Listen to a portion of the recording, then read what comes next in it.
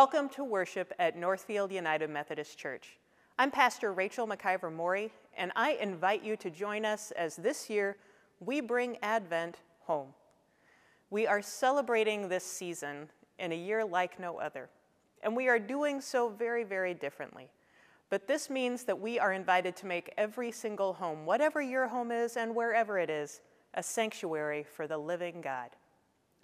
If you are watching in one of our Sunday morning watch parties, we invite you to sign in. Just let us know where you are so that we can welcome you to worship. Also, we have another invitation. We've had some people reach out and ask about membership at Northfield United Methodist Church.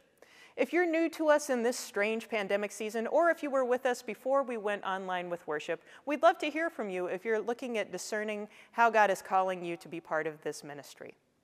Drop us a line at info at northfieldumc.org, or you can get, uh, direct message us or drop us a line in the chat box. We'd love to hear from you either way. Come, let us prepare our hearts and our homes for the advent of the Christ.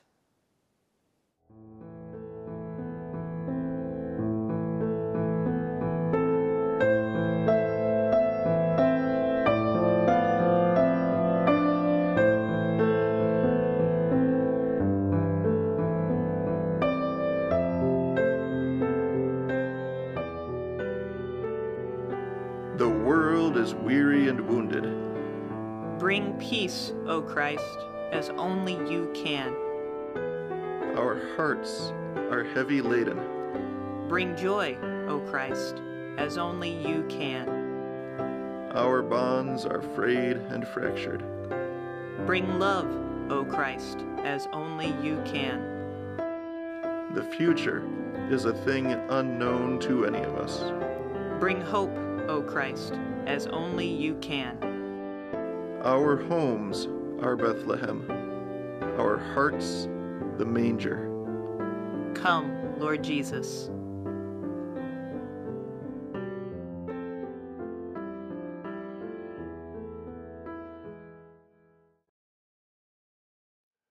Please join me in a prayer written by Henri Nouwen. Master of both the light and the darkness, Send your Holy Spirit upon our preparations for Christmas. We who have so much to do and seek quiet spaces to hear your voice each day. We who are anxious over many things look forward to your coming among us. We who are blessed in so many ways long for the complete joy of your kingdom. We whose hearts are heavy seek the joy of your presence. We are your people, walking in darkness, yet seeking the light. To you we say, Come, Lord Jesus. And Lord Jesus, it is we, the people of Northfield United Methodist Church, who speak to you now. We find ourselves apart from each other, but together before you in our prayer. In the coming Advent silence, Lord, hear what is on our hearts, our prayers of light and darkness, our prayers over what we have to do and what we will have to do, our prayers over our anxieties and concerns, our prayers of gratitude for our many blessings, our prayers of grief, and our prayers for all of your people. And in this silence, Lord, as we share our own individual prayers, please speak to our hearts and help us to know your prayer for us as well.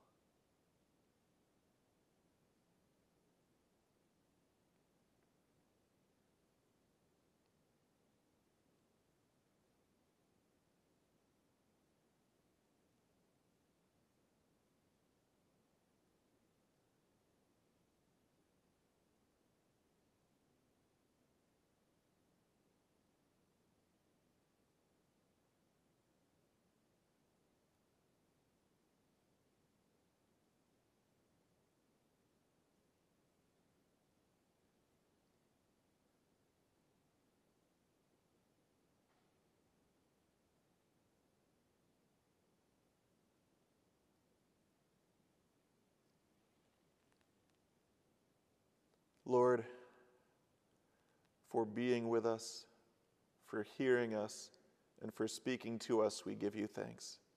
Just as we give you thanks for the way that you discipled us 2,000 years ago, teaching us the prayer that we still pray today.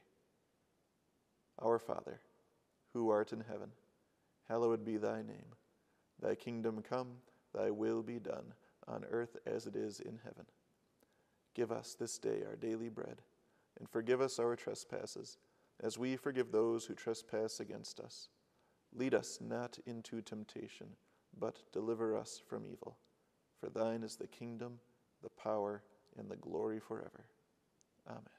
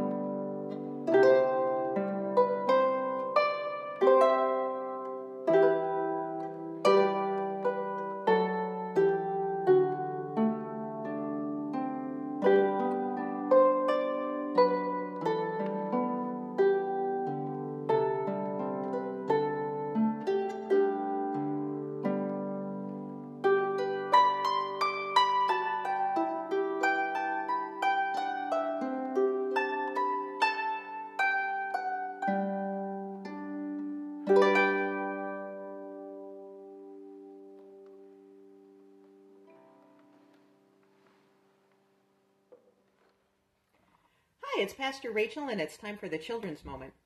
Today, we're going to talk about preparation. And what does that mean? Well, today I decided that I want to make some cookies. But before you make cookies, you got to have all the stuff out to do it. So I found my brown sugar, I found my oil, I found my regular white sugar, I found my cocoa powder, and I found my flour. I think I might make some earthquake cookies. For that, I'm going to need powdered sugar. Ah, there it is. Powdered sugar to make earthquake cookies. Have you ever made those? They're super yummy. Before you make anything, you need to be prepared and have all of your stuff together. Otherwise, you can't make it. And today we're going to talk about preparation in the sermon and preparing for Christ to come to us. So just like we need all of our things to make cookies, what are the things we need to prepare our hearts, our minds, and our homes for Jesus to come. It's sort of a fun thing to think about. If Jesus were to come by your house today wearing a mask and properly social distanced, what would you do to prepare for him? What would be the things you'd want to make sure you have at the ready to make sure that Jesus would be welcome in your home and in your own heart? This is the season of Advent when we prepare our hearts and our minds and our homes for the coming of Jesus because it is that promise that Jesus will come to us. So I hope that you're getting ready. I hope you're finding all the things you need. And if Jesus comes to your house, I want to hear all about it.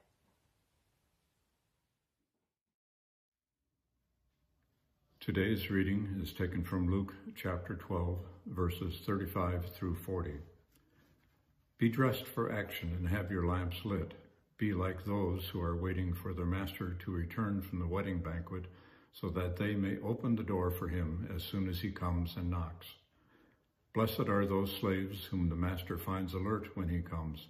Truly, I tell you, he will fasten his belt and have them sit down to eat, and he will come and serve them.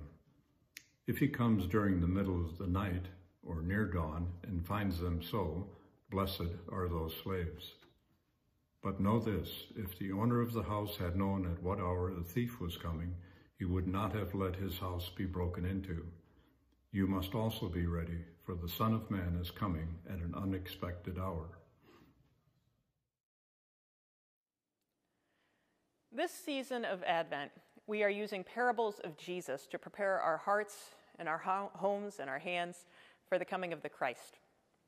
We're using parables that talk about expectation or waiting in some way or preparing in some way.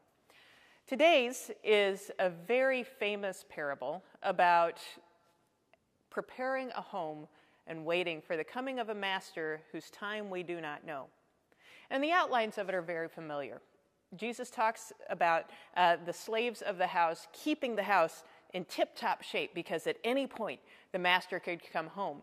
And if the master comes home and finds that things aren't ready, well, things go really badly. But if the master comes and finds that the home is ready and finds that things are prepared and waiting for him, then the master will reward uh, his slaves. This is a a parable that is very much taken from the time and place of Jesus. And so uh, we need to keep that in mind as we think about some of the social constructs that he uses to explain this concept. What we need to focus on is what he is calling our attention to, which is the preparedness and the readiness. I want you to think about the exhaustion of keeping your home always ready for guests. Imagine that your house is like a B&B and at any minute, you might have somebody coming to take a room and uh, to share your table. For some people, they love that. And for others, that sounds like the worst thing in the world. Either way, whether you enjoy it or whether it doesn't sound fun at all, it takes time and it takes energy to do that. As I was reading and thinking about this passage, I considered uh, when is it that we have had to spend that kind of time and energy on preparing for people to come to our homes. And I realized right now, right now in this pandemic season, if you've had anybody over to your home at all, chances are you had to put some extra time and thought into it. And uh, for many of us, if we have somebody coming from outside our bubble to our home, that requires sort of a complex negotiation of masks, and social distance and outside or inside how long. Um, all of these questions that 10 months ago we would have never thought to ask. So, welcoming someone, even in a very small way, takes a lot of thought and a lot of effort, particularly now as infection rates are rising. So we have actually a pretty good sense of the anxious energy of this parable, of the preparation and the keeping things ready and uh, the making things right for when somebody comes. And this can actually be a holy exercise, a discipleship discipline, this preparing for a guest, this preparing for the Christ to come. And I have two things that I've thought of in relationship to that. Uh, the first is what we saw in Northfield, at least in our neighborhood, around Halloween. Halloween was tough this year. Uh, a lot of the things that sort of make Northfield Northfield weren't able to happen like they usually do. And so people had to think differently about how they were going to do Halloween.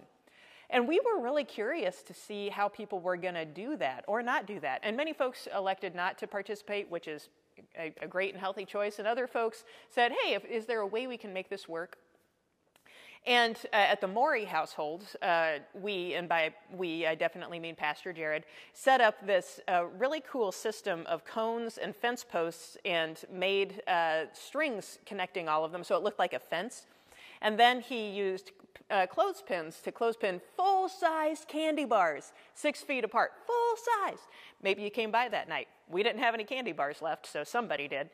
So that was one way we worked out a contactless Halloween candy delivery.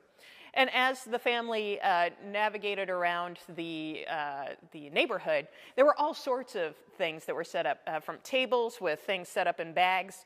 Uh, some people had some really cool PVC pipe slides that they used to deliver candy, all sorts of ways that people had thought through to still have the holiday, but make it safer, make it a little more distant in that respect. The thought, the time, the preparation for the guest. There's something really holy and sacred about that. Another example I want to use comes from our own congregation, and I, I, did ask permission to use this.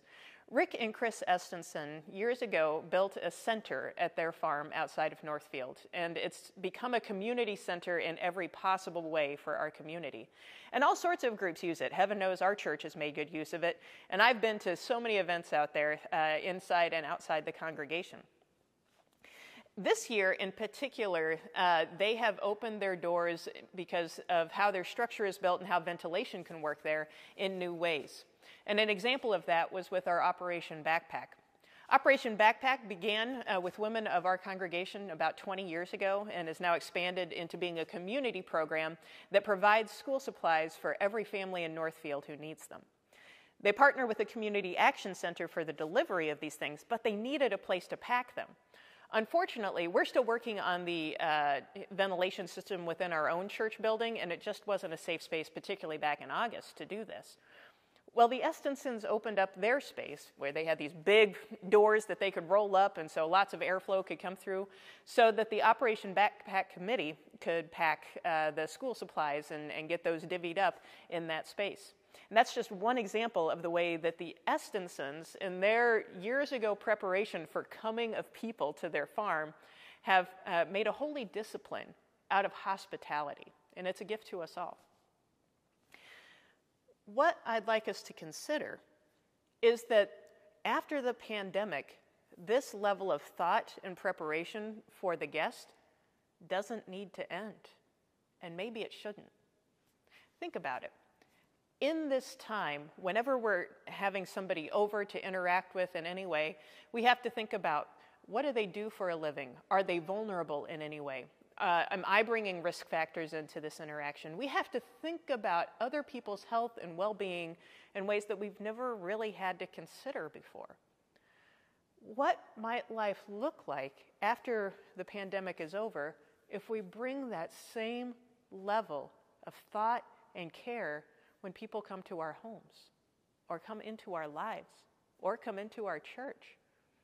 Now, maybe that sounds exhausting, but there's a gift in that because what it means is we are offering the same care and preparation in non emergency times as we are right now. And what love could we communicate if we do that, if we embrace that as a gift? If we are allowing this season to reteach us the holy discipline of hospitality. This first Sunday of December, the invitation of the parable of Jesus is to make ready, be watchful. And friends, I think many of us are already. Christ will come to us. That is the promise and the gift of the season. What level of thought and care and preparation are we putting towards making our homes and our hearts ready when Christ Himself comes to us? Because, like in the parable, He may come at an unexpected time and in an unexpected way. But if we offer the same level of thought and care and preparation as we are in so many interactions right now, we might find that we are readier than we think. Amen.